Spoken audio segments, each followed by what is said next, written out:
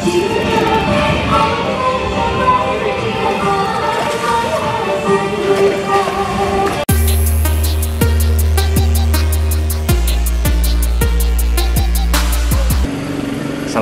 warahmatullahi wabarakatuh Apa kabar teman-teman Getakers di mana pun berada Semoga sehat selalu dan dimudahkan rezekinya oleh Allah Subhanahu Wa Taala. Amin. Uh, video kali ini saya mau review uh, umpan galata malele yaitu uh, dengan media cacing.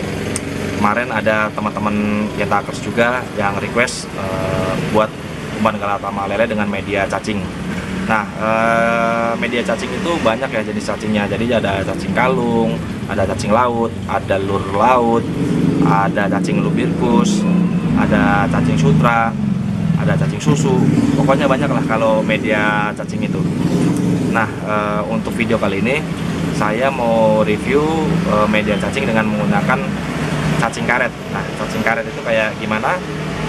Nah ini saya udah siapin cacing karet ya. Nah e, ini yakin ya cacing karetnya. Jadi cacing karet itu teksturnya hampir sama kayak apa namanya cacing kalung cuman bedanya dia lebih hitam dan lebih lebih kuat ya gampang putus. Nah cacing karet ini bisa didapat di mana sih gitu kan?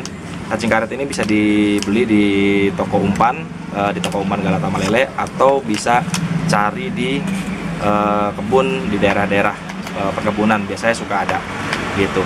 Nah uh, cacing karet ini cocok banget buat cari babon atau ikan-ikan kasar karena memang e, umpan cacing karet ini umpan yang agak lambat e, tapi biasanya kalau sekali makan itu targetnya yang gede-gede gitu. Nah sebenarnya e, cacing karet ini ada ada racikannya gitu kan nah racikan jitunya nanti e, saya buatin ya. Nah untuk racikannya kayak gimana ikuti terus video selengkapnya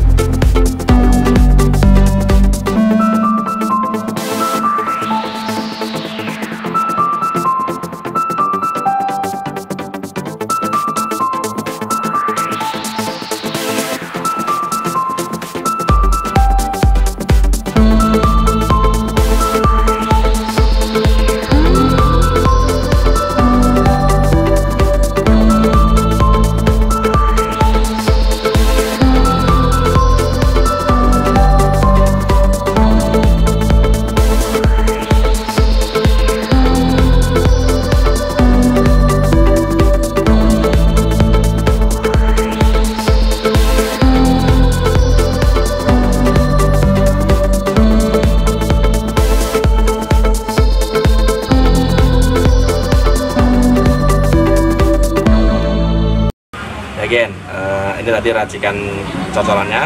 Nah cara make uh, cacing karetnya kayak gimana sih Gen? Gitu.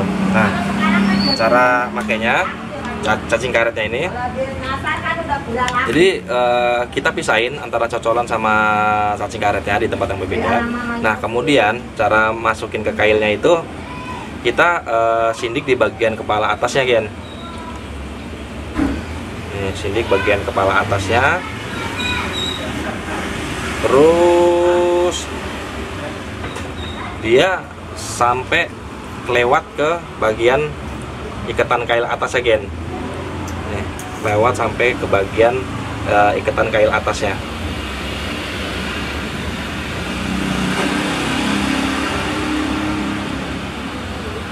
Nah sampai dia nempel ke benang gini kayak ikatan kail atasnya uh, ikatan kail atasnya udah ketutup sama benang.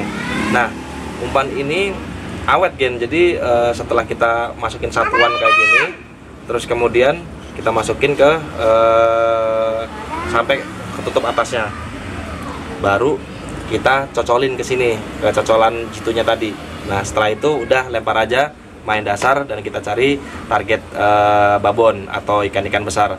Tapi uh, umpan ini memang agak lama agak lama makannya. Nah, tapi sekali makan tuh biasanya yang gede-gede yang babon-babon gitu.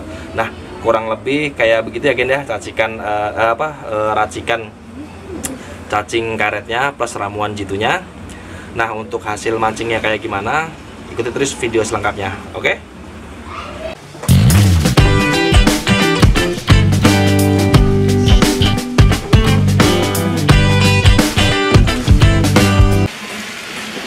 Ya Gen, uh, kita udah di pemancingan Dallas. Nah, uh, di sini saya disambut sama uh, Om Farhan, tuan rumah di sini.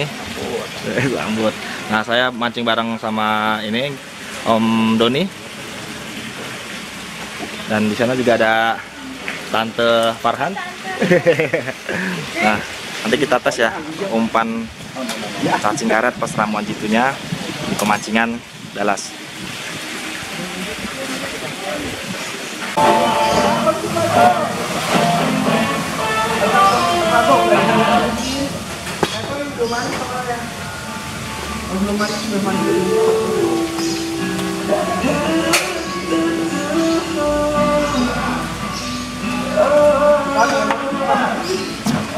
Again, kita cobain ya umpan cacing karet plus ramuannya. Oke? Okay? Thank you.